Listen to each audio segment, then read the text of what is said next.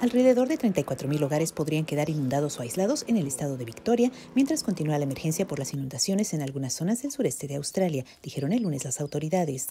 Victoria es el estado más afectado, con algunas ciudades que experimentan los picos de ríos más altos en décadas. Los estados de Nueva Gales del Sur y Tasmania también están sufriendo inundaciones en una emergencia que comenzó la semana pasada. Dos personas se ahogaron y otras dos desaparecieron en Victoria y Nueva Gales del Sur la semana pasada. Muchas escuelas y carreteras estaban cerradas en el sureste del país y miles de personas habían evacuado sus hogares. Esta residente de Shepparton dijo que la escena en la ciudad del domingo era como algo que se ve en una película. No es real, pero lo es, dijo. Octubre suele ser el inicio de la temporada de incendios forestales en los tres estados que están soportando inundaciones récord o casi récord.